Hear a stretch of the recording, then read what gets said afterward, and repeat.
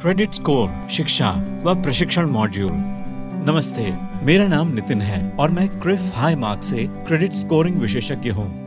पिछले वीडियो में हमने देखा था कि क्रेडिट स्कोर क्या है और यह आपको लोन लेने में किस प्रकार सहायता कर सकता है।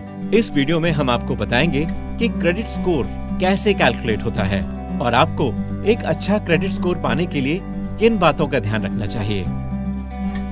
मेरे स्कोर की गणना कैसे की जाती है? आपके क्रेडिट स्कोर की गणना के कई कारक होते हैं। इनमें से पाँच प्रमुख कारक जो आपके क्रेडिट स्कोर को प्रभावित करते हैं, वे कुछ इस प्रकार हैं।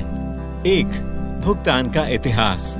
विलंब से भुगतान करना या आपकी ईएमआई में त्रुटि होना या बकाया रहना, हाल में या लगातार, ये दिखाता है कि आपकी मौजूदा क्रेडिट बाध्यताओं को अदा करने में आपको परेशानी हो रही है। और यह आपके स्कोर को नकारात्मक रूप से प्रभावित करता है।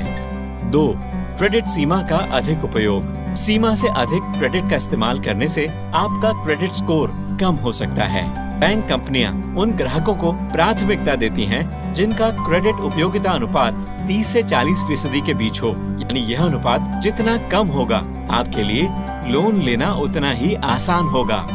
तीन, क्रेडिट मिक्स। सिक्योर लोन्स, जैसे ऑटो या होम लोन और अनसिक्योर्ड लोन्स जैसे क्रेडिट कार्ड या पर्सनल लोन के बीच संतुलन रखने से आपके क्रेडिट स्कोर पर सकारात्मक प्रभाव पड़ता है। चार, कई लोन और क्रेडिट कार्ड के लिए आवेदन करना।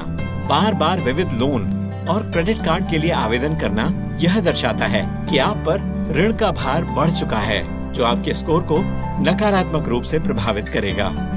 और आखिरी पॉइंट आज क्रेडिट इतिहास की उम्र भी अहम होती है। इसका अर्थ यह है कि आपका लोन अकाउंट या फिर क्रेडिट जिसका आप इस्तेमाल करते हैं, वह कितना पुराना है? एक अच्छा क्रेडिट इतिहास दर्शाता है कि आप एक जिम्मेदार उधार करता हैं और आप लंबे समय से अपनी बकाया रकम का भुगतान कर रहे हैं। तो क्या खराब स्कोर का मतलब भविष्य में किसी भी बैंक से लोन नहीं मिलना है? वह आप लोन के लिए आवेदन करते हैं। बैंक और वित्त कंपनियाँ आपकी क्रेडिट रिपोर्ट और क्रेडिट स्कोर की जाँच करती हैं। अगर आपका क्रेडिट स्कोर 700 से ऊपर है और आपके दस्तावेज़ पूरे हैं तो वे आपको लोन देने के लिए तैयार हो जाएँगे। लेकिन अगर आपका स्कोर 700 से कम है तो लोन आवेदन अस्वीकार कर दिया जाएगा। यदि यह 500 से नीचे है तो आपको लोन मिलने की गुंजाइश न के बराबर हो जाएगी। यदि स्कोर 600 से 700 के बीच है तो कुछ वित्तीय कंपनियाँ लोन देने पर विचार कर सकती हैं, लेकिन फिर वे अपनी शर्तों पर ज़ोर दे सकते हैं। जैसे आवेदन में लिखी राशि से कम राशि देना, या सुरक्षा के तौर पर कुछ रकम जमा करवाना, या उच्च ब्याज पर लोन देना।